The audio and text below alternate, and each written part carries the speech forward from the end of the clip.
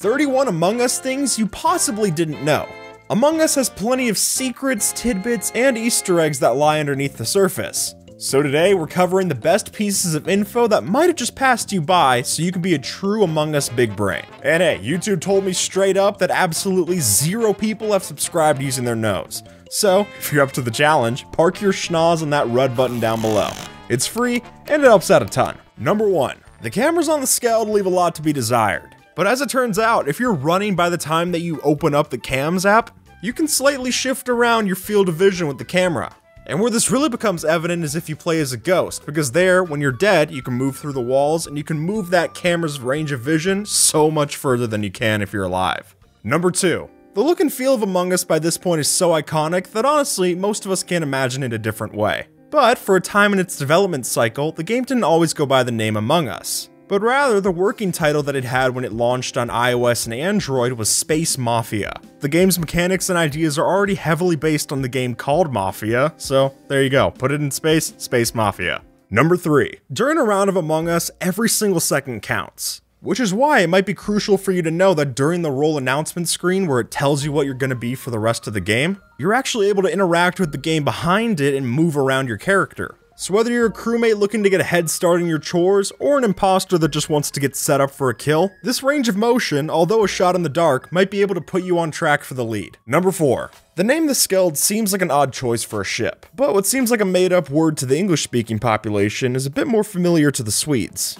The developers have gone on record saying that the name of the map is initially derived from a translation of the phrase the shield in Swedish, but the name was then later modified for easier pronunciation. Which is good, because without the help of Google Translate, I do not think I'd be able to pronounce this. Holden. Skölden. I don't know. Number 5. Multi-part tasks aren't exactly a treat. So what if we were able to take one of the two-part tasks and just simplify it down to one? We can actually do just that with the upper engine's task in Skeld. After you use the arrow to align the engine, if you click it three times, you can actually finish both tasks at once making your chore on the side go from 0 out of 2 straight up to 2 out of 2. Number 6. If you're a particularly vigilant Zelda fan, then I'm sure this one didn't pass you by. But in case you missed it, if you boot up the map Mira HQ and take a good long look at the plants, you'll see a striking resemblance to one of the Koroks from Zelda. More specifically, this seems to be a reference to Makar, the companion that you have in Wind Waker. But I've gotta say, going from Sage of the Wind down to being a potted plant does seem like a downstep. Number 7. The display interface on admin is admittedly pretty limited. But while most of us just use this for only checking crewmate traffic, that's only scratching the surface. Just like using vitals or cams, you're also able to see kills on the admin screen. That is, when a player's killed, their icon will flash on the map, which lets you know that something dicey might have happened in that room. Number 8. If you're looking to prank the rest of your friends in the lobby, here's how. If you host a game on the Skeld during April 1st, the map when you load up will actually be flipped in reverse, giving you something pretty similar to the mirror mode in Mario Kart. And the best part about this is that your friends don't have to be on April 1st to see this. So if you set your device's internal clock to that date, you can invite them in and get ready for their reactions. Number 9. If you've ever played for a long session with a group of friends, then you know that at some point the lobby's gonna close, and you're just gonna have to type in a new code to get into the next one only to find out that everyone else is joining into the last lobby that you were in. So to save yourself the hassle of that scramble, if you just click the arrow without typing anything into the box, it'll take you into the last lobby you entered. If you get disconnected, just press that arrow and you'll be right back in with the rest of the fun. Number 10. In a competitive lobby, how the imposter fakes their task could be make or break. So, an extra trick for those crewmates trying to find the liar, this divert power panel on Skeld is completely unused. So if you see a body over there faking their tasks, you know that they're just trying to look busy and they should be fired immediately.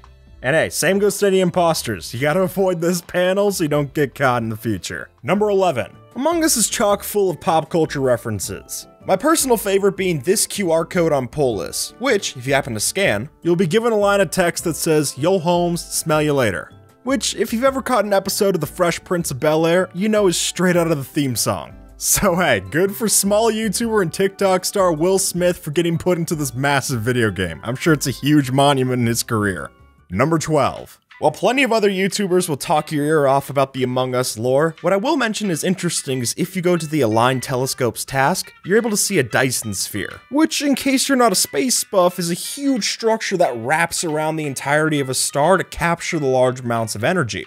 And by that measure, these little goofballs are so much smarter than you and I could ever hope to be. But hey, at least we have actual arms. Number 13. As the imposter, your goal is to get the kill and then get immediately out of dodge. So, fortunately for you, it's entirely possible to get those kills through obstacles that can keep you further away from the body. Like getting a kill through these plants on Mira. Or if that doesn't work for you, you could also try the laboratory table on the same map. It's even possible to get a kill through the monitor on Polus. There's so many different opportunities where you can be hiding behind something and still get the kill. Number 14. If you ever wanted to be in the loop about new Among Us features before they're added in, well, you're in luck, because Innersloth actually allows beta testing for all these different updates. Now, to start using this beta, it does vary by platform, but at least on Steam, all you had to do was go to the beta section of Among Us, and then you can just opt into the public beta, allowing you to try out any new features with your friends as well. Number 15. The name for the map Polus actually has a history that expands just past Among Us. Rather, it actually comes from a character in one of Innersloth's other games, Henry Stickmin. After winning sweepstakes, they got their name put into the game as one of the minor characters in one of the sub-episodes. And that's just one of the many Henry Stickmin easter eggs that are in Among Us. But hey, in fairness, there's also plenty of Among Us Easter eggs in Henry Stickmin. It evens out. Number 16. In a game as tense as Among Us, nobody wants to waste time. So to shave off those extra animation frames, it's actually possible to click past certain animations in the game. Instead of letting it play out, you can just press escape or the X to close out of the task as soon as you see task complete.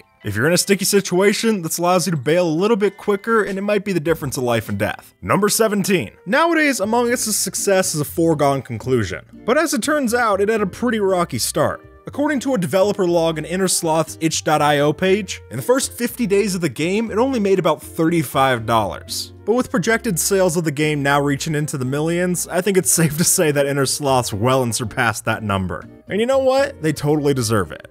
Number 18. Local multiplayer was a huge part of early versions of Among Us, which is why when starting out, the game initially had no audio so that it wouldn't reveal any hidden information to any of the other local players. Which is weird to think about given how classic the different sound effects in this game are. But sure enough, in its parlor game roots, a kill didn't sound like this, but rather this. Clearly doesn't have the same impact.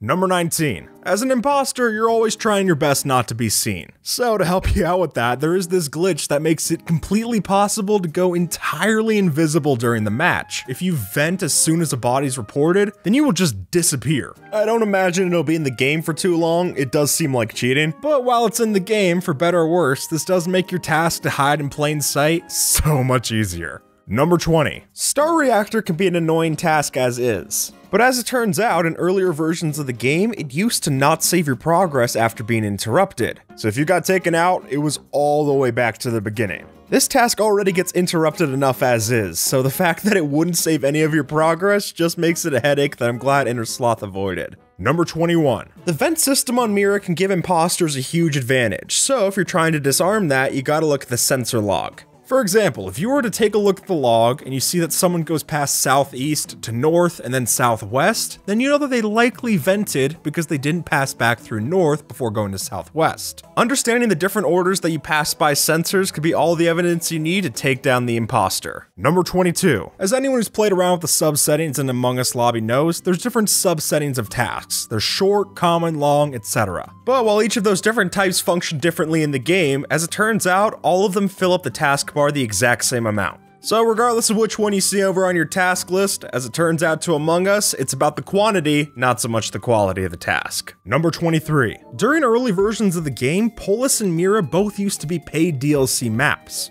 Initially starting out at $4, they then went to 2 and then eventually free, which is how we know them today. So if you're wondering why those two maps in particular have themed skin packs per purchase, that's why. They used to all be part of the same bundle that you would buy back in the day. Number 24. Sometimes it's hard to get someone to verify your scan, so using this glitch, it's actually possible to get someone to see your scan anywhere in the map of Skeld. If you have a high ping connection to a lobby and then you spam the medbay scan button over and over again, eventually you'll be able to scan outside of the actual medbay, which means that technically you're proven innocence all over the map, as well as weirding out the other players. Number 25. While Among Us has a lot of similarities to social deception games like Werewolf, the gameplay actually derives from an in-person game where the developers would turn off the lights in the house, and then, one player who was dubbed the King would go around and try to kill the other players by running a finger along their neck. It's definitely nothing I've ever heard of, but hey, if it inspired the Among Us devs, then I'm sure it's pretty good. Number 26. While Among Us is clearly successful in the US, according to an interview that the developer gave to Kotaku, the game's actually more popular in Mexico, Brazil, and Korea. Apparently, in 2019, it was found by different YouTubers in the areas and sort of snowballed into success, which is basically the same thing that happened here with Sodapoppin', which proves that no matter where you live, Among Us is still a great game. Number 27. Going into certain rooms to do tasks can be a death wish. So if you want to keep yourself distanced from any work hazards, then it's actually possible to do certain tasks through the walls. Whether that's these wires on the Polus office, the ones that you're able to start on Mira and then get pushed away by the blast door, or rather, these ones that you can do on the Shields task in Skeld. Clearly, there are plenty of different ways to separate yourself from work. Number 28. To anyone who's booted up the game and seen this weird logo cross their screen, you might have wondered if such a strange name had some form of history to it. But no, according to the developers, it just came from a random name generator they were scrolling through. However, it stuck because it resonated with them. It's like how you feel very sloth and lazy on the inside, but then on the outside, you want to get things done. At least, that's the reasoning after the fact. I think they just liked the name. Number 29. If you're a crewmate without a group, then Reactor could seem like a daunting emergency. However, it's fully in your power to stop this emergency by yourself. By clicking to hold down on one panel and then quitting out to run over to the other at the end while still holding down the mouse button, you can open up the second panel and solve both just like that. I'm guessing it's not a feature that'll stay in the game for too long. This might be able to keep you and the rest of the crew alive on the ship for just that little bit longer. Number 30. With so many people playing Among Us these days, it feels like every day is Among Us Day. But as it turns out, according to Innersloth's blog post The Data Among Us, Thursdays turn out to be the least popular day for Among Us games. I mean, obviously, it seems like weekends would be more popular, but even that's not true. Apparently, Tuesday nights at Pacific Standard Time are the hot spot. Who knew? Number 31. For as technologically advanced as the Among Us characters are, the upload data task takes forever. But apparently, back in the day, it used to be even longer with 12 seconds to go instead of the current 8. And you can definitely see why they change it. This task already feels like it takes forever, so being there for 12 seconds might just be guaranteeing an imposter kill. And at that point, it just seems unbalanced. And folks, we just launched a giveaway. With help from the company Dappy Do, we designed these exclusive Skip the Imposter figurines. Now, we've only got 50. It's super limited, so to make sure that you don't miss out, you've got to head over to my Twitter and retweet the pinned tweet to enter into the giveaway. After that, follow both me and Dappy Do on Twitter so we can DM you if you win. Today's November 8th, the winners will be announced from November 15th to November 20th. And until then, have a good one, alright?